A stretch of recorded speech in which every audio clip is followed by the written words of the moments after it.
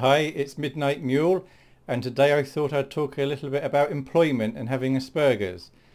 Now I'm not sure that in today's video I'm going to have any useful advice for anyone. I'm not in a position to give advice. I thought all I can do is talk about some of my experiences and some of this may resonate with some of you and some of it may not.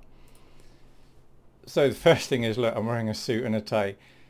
Something annoying for Aspies is that neurotypicals first impressions are really important. The way someone looks is really important to an Aspie. It, it really doesn't matter and it's really frustrating this whole first impressions thing. So anyway, back to the main thing. Uh, three points to make to start with which has massively affected my employability I guess. The first is I was very fortunate in that when I was growing up I saw my dad working very hard. He was a farmer, he had a very small farm and he'd be up early while it's still dark, go off to the farm, come back, have his breakfast, go back again. And he would have worked seven days a week, but my mum always made him take Wednesday afternoon off.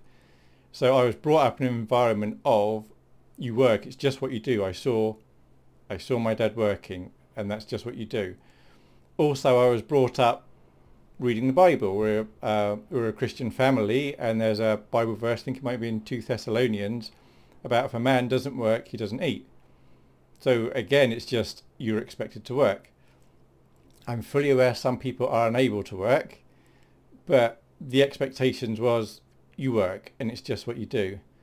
The third thing, which also goes in my favour, is a lot of, it's not unusual for an Aspie to be naturally gifted at something.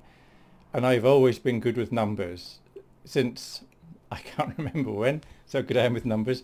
Um, numbers and sums and maths has just come easy to me. I see patterns and I can work with numbers very easy. So as an example, silly example, I think I was seven and I remember I was in the front room and I was looking in the back of the newspaper and there was some horse racing results there. And I didn't know anything about horse racing, but I understood that uh, what the odds meant for the various horse races. And I was wondering, I wonder if it's possible to bet a certain amount on each horse so that whatever the outcome was, you'd make a profit. I was seven, I didn't know any better. So I got out a piece of paper and a pencil and looked at two or three races and worked out different amounts to stake so that whatever the result, I'd always get the same return. And I found out that actually the bookie had like about a 5% advantage. So it wasn't possible. And of course, now that I'm older, I know, of course, the bookies have an advantage, but as a seven-year-old, I didn't.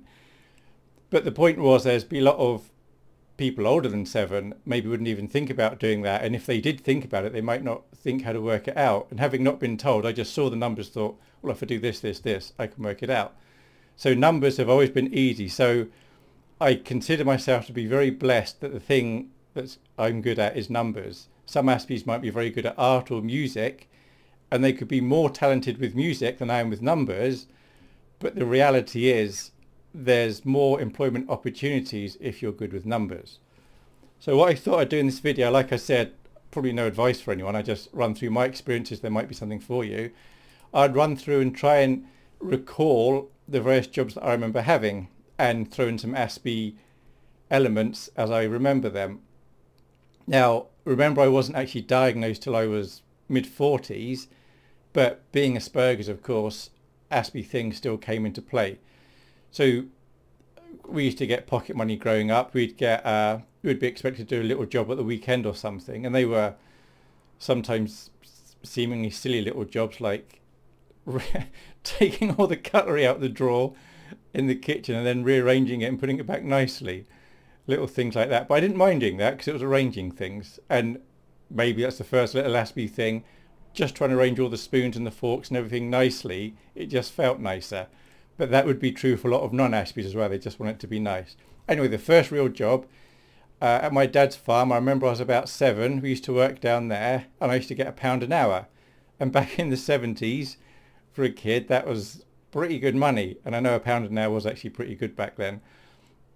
Uh, so we used to help collect the eggs. There was a poultry farm and there's also some uh, cattle there as well. But something else I used to do is serve in the shop.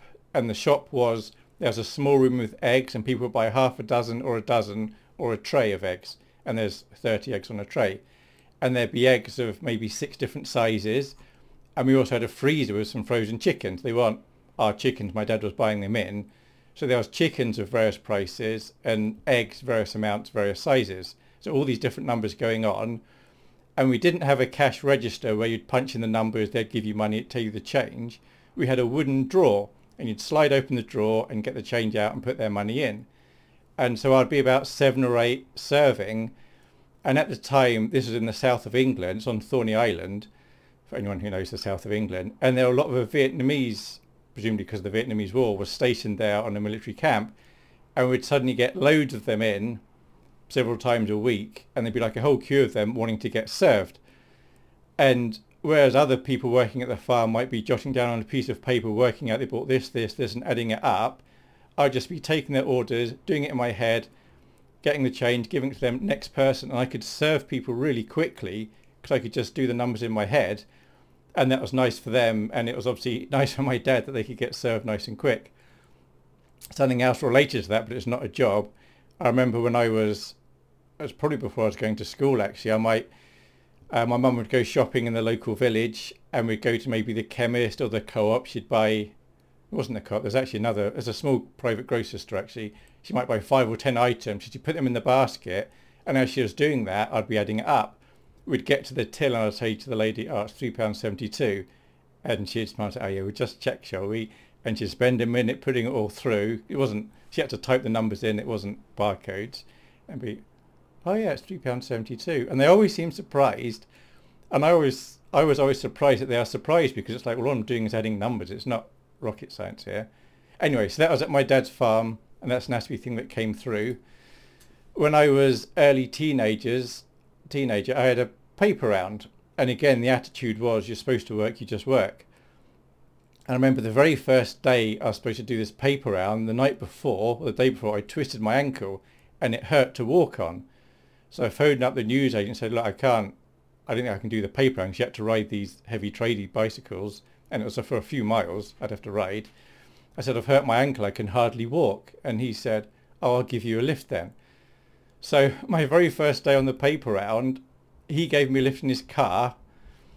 And he and so I hobbled up to the first door and hobbled back. And he said, oh, no, the best thing to do is just walk on it. If you've got a bad ankle, walk on it and use it. And something about Aspies, Aspies are very trusting. So I just thought, okay, that's what I've got to do.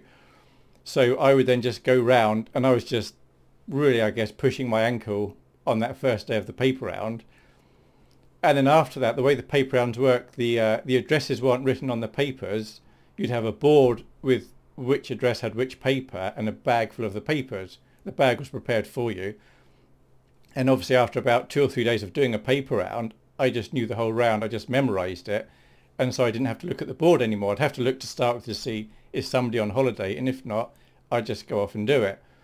But I had other friends that would do a paper round and a I can't think of any other friends apart from my brother that stuck to the paper round after a week or two because it's raining or it's cold or they're tired they didn't want to do it anymore whereas I would just be like oh it's quarter past six whatever the time was need to get up walk or run to the uh, paper shop do the paper round and you just did it and then you came home so ended up being seven days a week I'd get up early and do the paper round and the attitude was you just do it now there are lots of non-Aspies that have also got the work attitude of you just do it but I think for certain Aspies, it's just a lot easier to think this is the way it's supposed to be, just do it.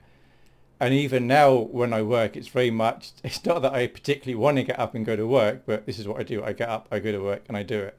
And it's just jing, jing, jing, just work it like that. Uh, so that was the, uh, we had a collection round as well. So there was the paper and then at the weekend, we'd go to people's houses I'd have a leather bag with some money in and we'd go and collect the money for the paper, for the papers delivered in the last week or if they'd been away the last two weeks. And again, because maths was very easy for me, I was always very quick. Never needed a calculator just to say, you owe us this much, they'd give me so much money. And I just quickly give them the change, to go on to the next one.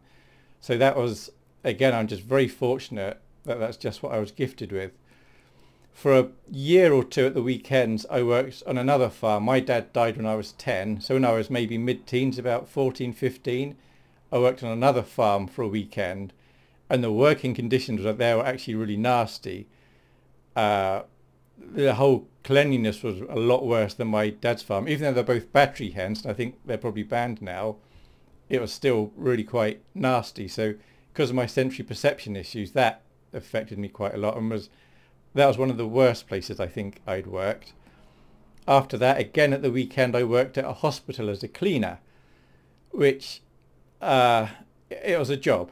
And because it was the weekend, we got paid twice as much, I think it was, maybe time and a half, of the people during the week. You just had to go there. I think we had to be there for eight o'clock and you'd be cleaning up on the ward, for example, and then cleaning up the toilets. But the thing is, this was a a home for people with, can't think of the polite term now, um, certain mental disabilities, I guess you'd say. We, we always knew it, knew it as a funny farm. So a lot of the residents there on some of the wards wouldn't necessarily make it to the toilet or even bother using the toilet.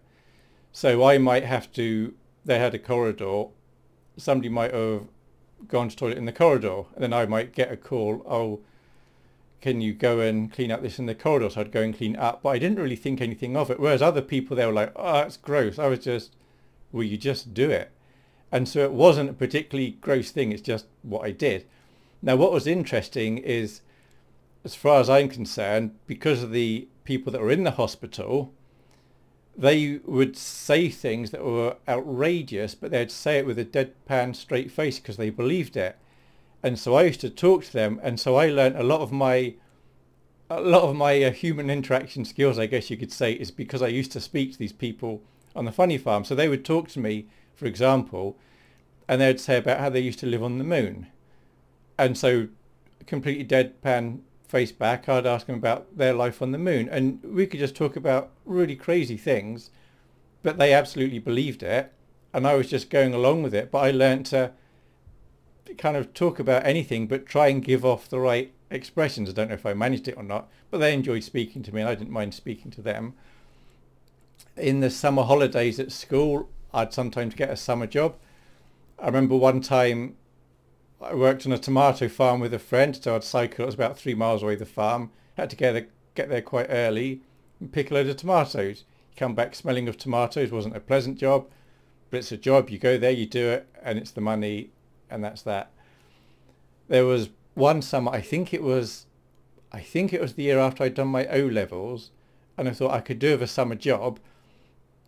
And I wasn't just waiting for people to offer a job. I thought I'm going to try and find a job. So myself and a friend cycled to a an airfield where it, it used to be an airfield, but now it's just a few industrial units there. I think it was 14 miles away. So we cycled there. Um, we just went up to one of the units. Hi, looking for work? You got any work? No, okay. And just went to the next one. And then he managed to get a job at a place that was working wood. I think they were, no, it was a place that was working metal. But they only had space for one job. So I went to some other ones and I found somebody that was working wood. They made fences and cutting wood and this sort of thing. So they offered me, they said I could work there. I think might have been £2 an hour or something. So what I'd do, I'd cycle there, 14 miles, I think I had to be there for eight then I'd work till four, half four, and cycle 14 miles back home. And again, it was just the attitude of it's what you do. You get up, you go there, you work.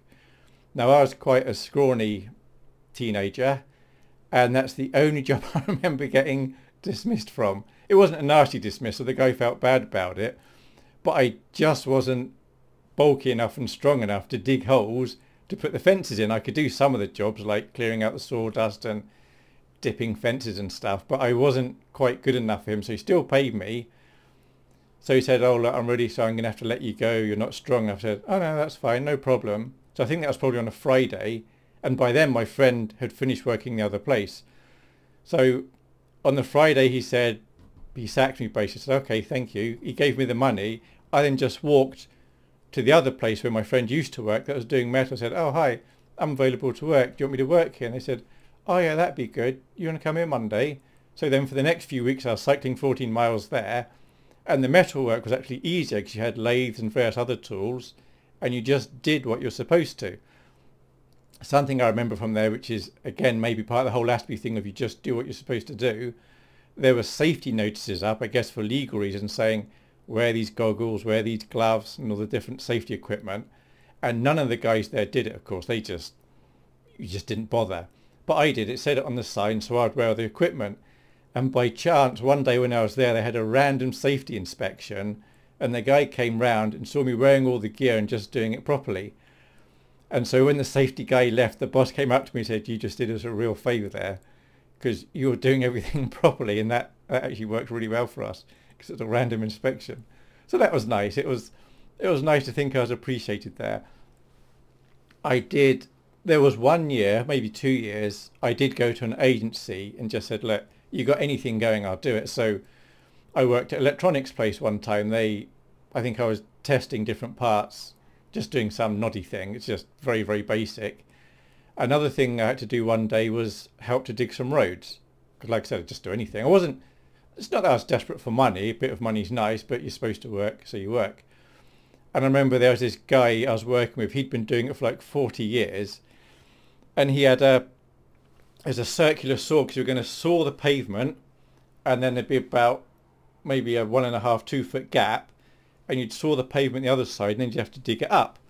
And so what he would do, he I think he had a spray can, he'd spray this long distance and then he'd measure out carefully 18 inches, whatever it was, at various points and then he'd spray the other side and there were the two lines you had to cut. It didn't have to be exactly straight but they had to be basically parallel. So it would take a while to mark it all out and then I'd go there and cut it. And I said to him, there's actually an easier way than this and I could just see it and he said, go on then show me. So I cut the line and then there was a, I think there was a piece of metal or there was something on this cutter I said, look, that distance from there to there is about 18 inches. So I just line that up with the line I've just cut. and I just cut back. And he was just like, I never thought of that. I've been doing it for years and that's so much quicker. And I was only on there. They only needed me for one day and I did it for a day. But it's just, I guess, because I very easily see patterns, I can very easily see there's a problem, there's a solution. Why don't you just do that? And that's that does cause problems because it can cause resentment if someone's been doing something for a long time or they've come up with a solution and I can just see something that's potentially better. Some people are very good with it and they just want the best solution. Others, I would say, have an issue with pride and you can hurt their feelings if you point out something that might be a bit better than that. Uh, there was a another summer, my stepdad, he worked at an electronics testing place. So after my A-levels, I got a summer job there. I had a car by then. Yeah, I think I had a car. I had a car, so I could drive there. Did I? No, I didn't. I got a lift in. Sorry, I got a lift in. He used to leave quite early. It was probably about half six he'd leave for work, I guess. And so to start with, I was just doing some tests on some microchips. We have certain tests, write down the parameters, do whatever the results were. And I was only doing that for probably a couple of weeks before they noticed that when I was on a computer, I was using the computer quite well. It was a Unix system. I didn't know much about computers, but it wasn't difficult. It's just logical. And so they wanted me to do something a bit different. There was, they needed somebody to print out the results. Now, in those days, the printers were dot matrix printers, which for those that don't know, it's, it's a really slow process.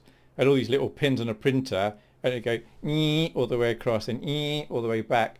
And so to print a page, would take quite a few seconds because to print a line would be several seconds and there's several lines on a page and there'd be what happened there'd be hundreds of chips were tested and then they'd have to print out all the results which would be like a box of paper which would take a very long time to print out and some of the chips would be failures. So if a chip failed they would keep retesting it and retesting it until it passed.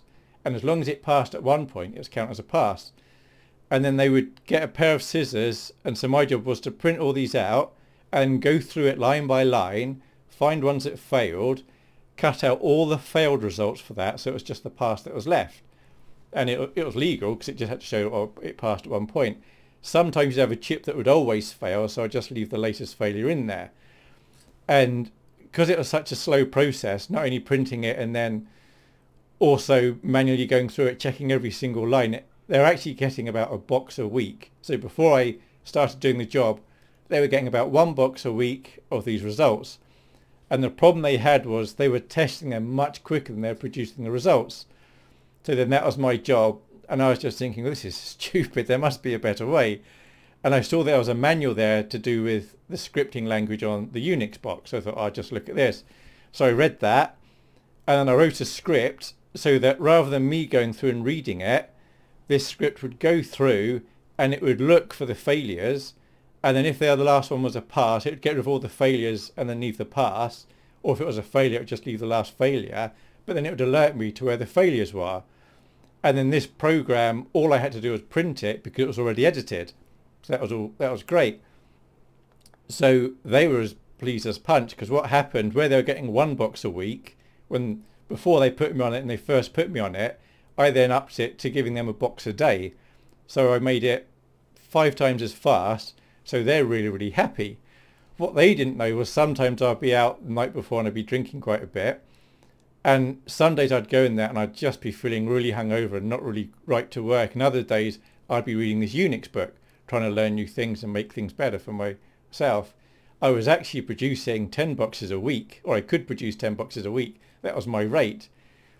So what I did, I'd always have a few boxes in reserve so that if I had a day I went in there and I just couldn't work, I'd be in there, I'd maybe teach myself a bit of script, maybe have a coffee, or no, I wasn't having coffee, just drinking water, feeling a bit rough. At the end of the day, I'd take him a box. So they were still very happy, but not knowing I was actually working quicker than they realised. But I was compensating for the fact that I knew I could do a bit better. And then I, I had several jobs at that place. They then moved me from that. They needed someone to help out with their databases they were working on. This was for ESA, European Space Agency they were doing some uh, a procurement program for ESA. I'd never done anything with database, didn't know anything about the programming language, but I picked up really quick and I was helping with that for a few weeks. And after a few weeks of that, the guy who was running the computer department for this company, he then poached me and wanted me helping him out. And that was fine. And he was a French man. I liked him a lot. He was, other people found him very arrogant and grumpy, but because I'm Aspie, I just go by the words I actually said. So I, really liked him, and he seemed to really like me. So that was that was all very good. And then I did a degree. I did electronics degree. And then at the end of the degree, the last couple of months, maybe the last few weeks, people on the degree course would then be out job hunting. And I didn't actually need to do any job hunting because the electronics place I'd worked at, this testing house, they wanted me to go back there and work for them doing whatever it was. But somebody else, another company, can't remember how they'd heard about me, they wanted me to work for them as well. But then the dean of the faculty at the university, he'd seen my work and he wanted me to stay on and work for him. So without even looking for work, I was very blessed just because I'm naturally good at numbers and maths and logic. I had three job offers without trying. So the postgraduate work was he wanted me to do uh, research. I'd have to write papers, I'd have to do a PhD and but you normally get a you normally get hardly any money. You maybe get a bursary or something. I said, look, I got some job offers here. I only work for you at the university if I'm getting a proper salary. And I said, this is how much the other places are offering me. If you give me that much, then I'll work for you instead. Which he agreed to do. So that was great. So I worked at the university for I think three years. I was working there. So I had to write various papers. I I did the master's side of the I did the master's and then from that I then moved on to the PhD. Did all the work for the PhD, but there was a company in Edinburgh. This is where are we now? Early mid 90s, early to mid 90s, and they were doing work with intranets and web pages, and that seemed an awful lot more interesting than the research I was doing. So I thought, well, and they for a few years they've been wanting me to go up and work for them, and my brother lived in Edinburgh at the time, and we really liked Edinburgh. I was married by now, so I thought, well, I've done all the work I need to do for the research. All I've got to do is write it up now. So I'm now going to move to Edinburgh and do this fun thing working with computers. So I did move to Edinburgh, but predictably I never actually got around to writing up my thesis. I never actually got my PhD in the end. But it was a quite an intense place to work. Again, being Aspie, I picked things up very quickly. I worked very hard and uh, the staff weren't always getting paid there. And it got to the point where my wife and I were putting things on our credit card, just day-to-day living, because we weren't getting paid. But my attitude was I got to work. So I was working long hours, working weekends as well, and not getting paid for it. And I just got completely burnt out. So that was a very bad thing. And at the time, I was working on an intranet for a particular company and I was doing all the work for it. So I designed the database, I was building all the front end pages for it. And the company I was working for that was employing me ran into trouble. We weren't getting paid, like I said. And so it was the case that this intranet's not going to get finished. It was about two thirds finished.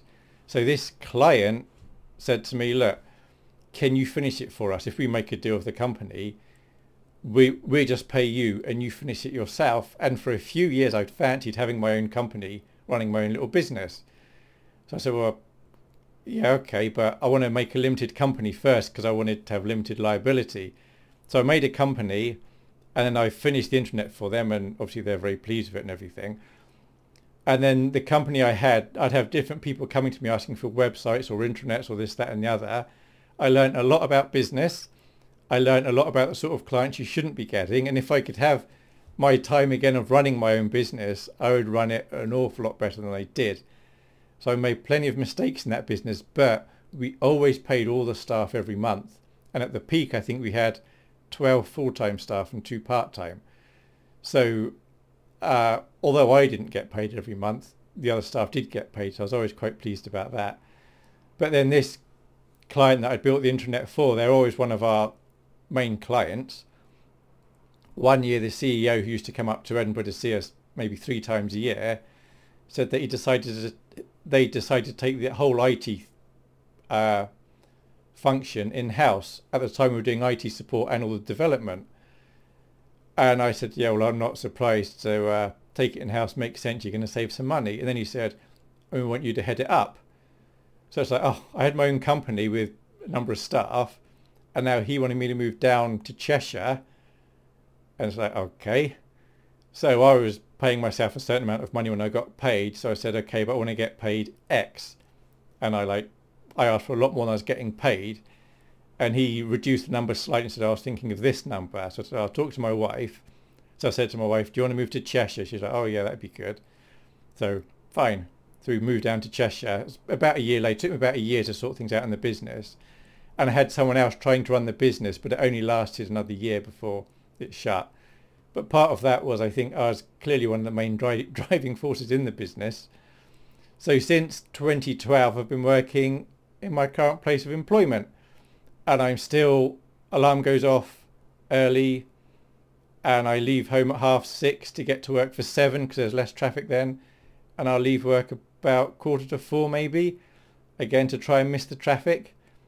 There are several ASPIE things I could talk about at work. So okay, while I'm at while I was at this job, my current employment, that's when I got diagnosed. And so on the back of that, we then had a meeting and with what was the HR department to see if there's anything we need to be done, what can be done. So all I said was, look, interruptions really affect me because they do. If I'm trying to concentrate on a piece of code or designing something and someone just pops in to say, hi, how you doing? Maybe a bit of small talk or, oh, sorry to interrupt. Can I just ask so-and-so? That throws me and that can actually cost me a lot of time because I had so much going on in my head. So one thing we agreed was I'd get my own office, which I had anyway, but I'll always be allowed my own office. And there's a sign on the door that says do not disturb. And then the other thing I had changed in my contract was I could do whatever hours I want. As long as I do the right number of hours per week, I'm on like Uber flexi time. So my official hours were 9 to 5. But the trouble with that is there's a lot of traffic so I ended up leaving earlier and earlier to make sure I was definitely in work long before nine. So I think my first day was probably in about half past eight. And I kept creeping earlier and earlier because what if something does happen? I ended up being at work at seven, but it meant the traffic was a lot sweeter. So I had my contract changed to say, look, I can just, as long as I do the right hours in the week, it's okay. So that's why I'm working at the moment. It's okay. Uh, I don't think I'm used to my full potential there. The when I was taken down there, there were certain people on the executive, and they all knew me. They worked with me for like ten years or more.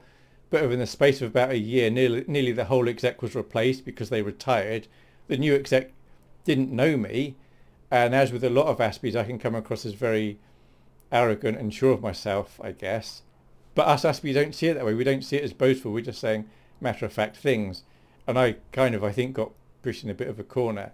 So now what I'm doing is business intelligence, working with databases, making sure reports and numbers are right and if there's issues I find out potentially where problems might be occurring. I think I might talk about that in another video. So that was a quick ramble through uh, my employment history. I know I didn't give any advice there at all to do what is and isn't helpful, but there may be something there that resonates with you or it may just be interesting to know. I can definitely say there would be some Aspies out there that will make excellent staff. If you want them, if you're an employer and you want someone who's going to be very logical or good with numbers or honest, that's something else that is a plus and a minus depending on who you talk to. Aspies can certainly tick some of those boxes. Not all Aspies, and there are non-Aspies that can also do that. But if you give an Aspie the right working conditions, they can make excellent staff, in my very biased opinion. But I also think the track record says that as well. Okay, I think that's about it. I hope there's something useful there for some of you. Thanks. Bye.